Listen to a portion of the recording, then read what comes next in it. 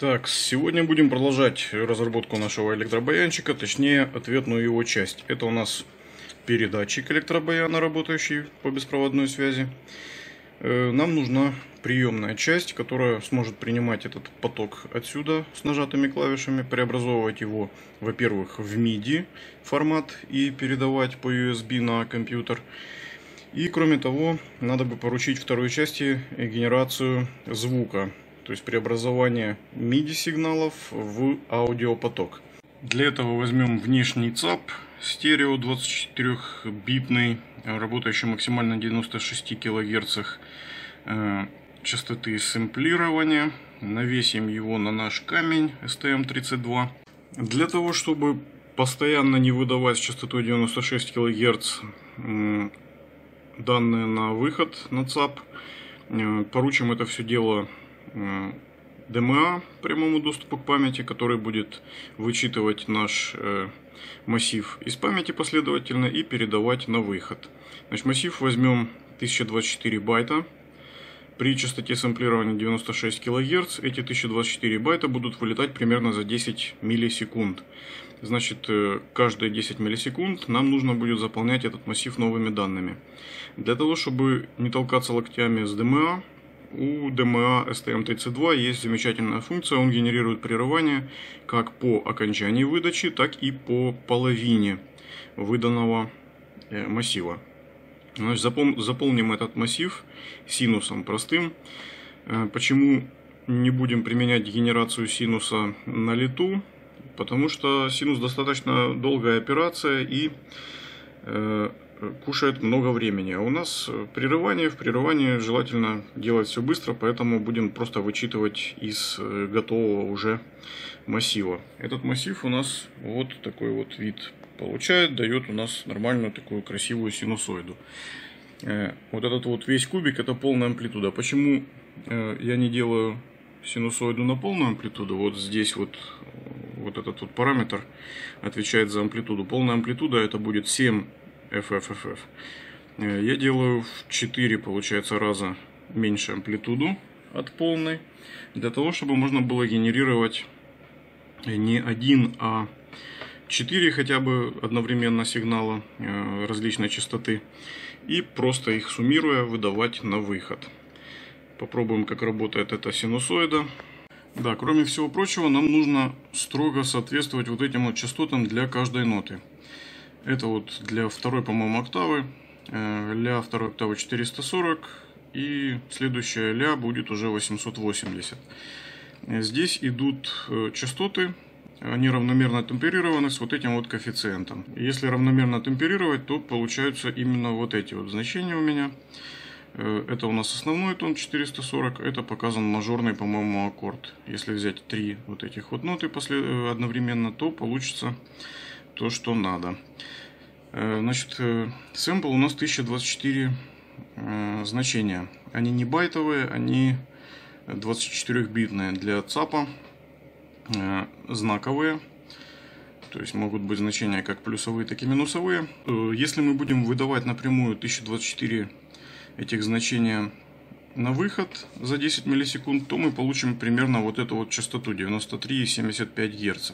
Для того, чтобы получить частоту 440 Гц, нам нужно брать не каждое значение последовательно, а значение нужно брать с вот этим вот шагом 4,8, да, вот этот вот шаг, например, чтобы получить 440 Гц. Причем э, невозможно просто брать и приплюсовывать 4,8, будет накапливаться большая ошибка, поэтому счетчик следующего значения у нас должен быть накопительным, и мы должны умножаться на номер сэмпла, который идет, и вот этот вот коэффициент. И тогда получим необходимый следующий сэмпл из эталонной таблицы. Э, учитывая то, что у нас 1004, 1024 э, значения для вот этой вот частоты 93,75, то для 440 получается достаточно нормальная точность и плавная.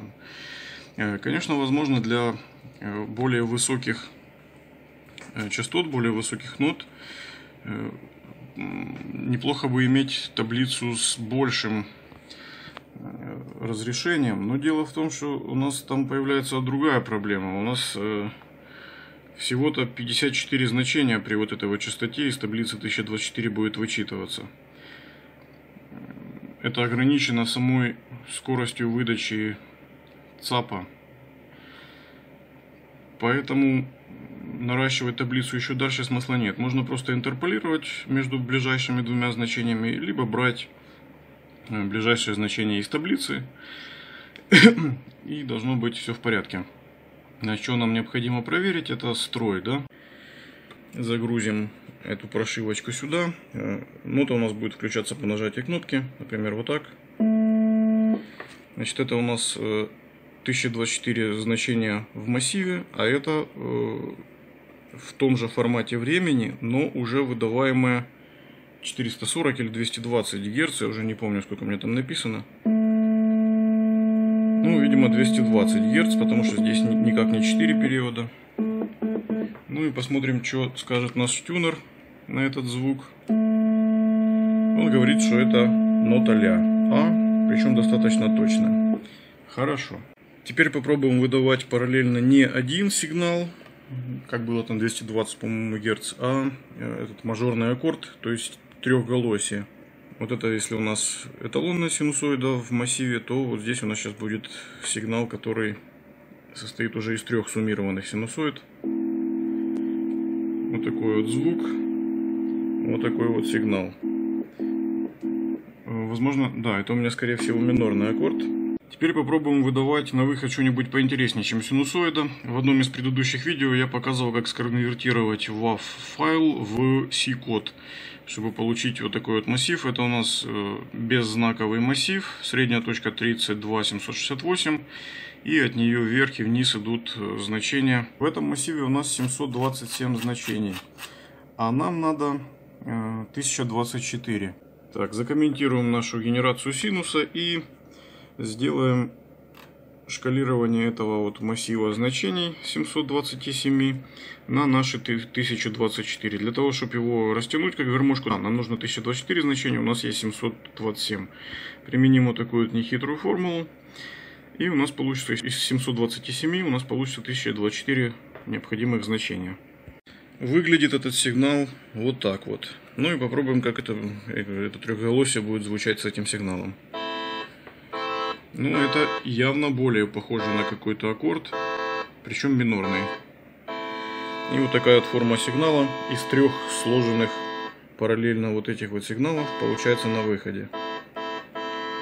Это у нас минорчик, а вот это у нас мажорчик. Ну, явно похоже на мажор. Сейчас немножко погромче сделаем.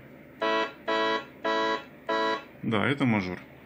Ну, собственно, не такой уж красивый сигнал, как хотелось бы. Но это самое начало. Теперь попробуем сделать нечто похожее на аккордеонный звук. Для этого э, частота первого генератора у нас будет 220 Гц, а э, частота второго генератора на 5% выше. То есть, к примеру, если счетчик первого генератора будет 39371, то второй будет 39839. Это как раз там на эти 5% и выше. Послушаем звук. Ну вот нечто похожее на правую руку аккордеона. Конечно, еще нет ни э, фазы нарастания, ни фазы спада, ни атаки, ни спада, поэтому звук такой достаточно дебильный. Да, при э, начале работы генератора он должен начинаться с нуля, да, это наша таблица, и заканчиваться она тоже желательно должна нулем, чтобы не было у нас э, щелчков и хрюков. Поэтому кроме просто пересчета значений из основной таблицы, введем еще параметры громкости, которые будем плавно наращивать от нуля до 100% э, за ну, первая там сколько-то итераций за 20 миллисекунд, например, для того, чтобы это все происходило плавно и без щелчков. Ну, как слышно, щелчков нет, все в порядке. Хорошо. Так, немножко поднимемся по частоте. Теперь у нас на выходе будет 440 Гц для второй октавы, не 220 на октаву ниже, которые были. Ну, в принципе, близко к аккордеону. Посмотрим, что говорит тюнер по этому поводу. Тюнер говорит, что да, это ля, но за, за счет того, что второй генератор чуть выше, поэтому эта ля идет с таким немножко биением вверх, да, на несколько центов. Вот если это 50 центов, то должно на 5 центов выше быть, если э, включить только второй генератор. Поскольку два генератора, то получается как раз, ну как раз вот эти два с половиной где-то там они проскакивают. Хорошо. Так, отключим второй генератор, оставим только основную тонику. Посмотрим, что скажет тюнер на эти 440 Гц. Ну, где-то, да, где-то вроде попали. Так, посмотрим, что по поводу этого синуса думает. Ну, тюнеру вполне комфортно, а вот частотомер у нас тут в шоке. Потому что на этом сигнале куча дополнительных пиков спадов, и он не понимает, о чем тут речь. Вернемся к синусоиде. Так, что у нас с синусоидой? По синусоиде Тюнер чувствует себя... Тюнер чувствует себя плохо. А почему так? Синусоида должна быть вообще для тюнера в порядке. Ну-ка. Не, все нормально. Тюнер говорит вот так вот, а частотомер по поводу синуса говорит 439 Гц, 439,9. Ну, в первом приближении такая точность, я думаю, меня устроит. Так, следующим этапом будем делать вычитывание э, формы волны с microSD карты и работа уже с этими сигналами напрямую, чтобы не приходилось создавать в рукопашную эти таблицы, чтобы любой человек мог вырезать кусочек звука, который ему понравился, и создать собственную WAV таблицу. Так, посмотрим, что у нас происходит со временем. Значит, вот вверху у нас идут прерывания по вычитыванию половины буфера по DMA, передача на ЦАП. Значит, они идут с частотой 91,54 Гц. Почему не вот эти вот 93,75? Не спрашивайте, я не знаю. Видимо, у меня какие-то проблемы с опорной частотой либо с делителями, и на выходе у меня вместо 93,75 вот эти вот 91,55. Ну, не суть. Самое главное соблюсти частоты нот, они у нас соблюдаются. Что у нас по загрузке? Значит, э, обработка одного прерывания занимает 3,184%. Это для одной ноты, для одного генератора.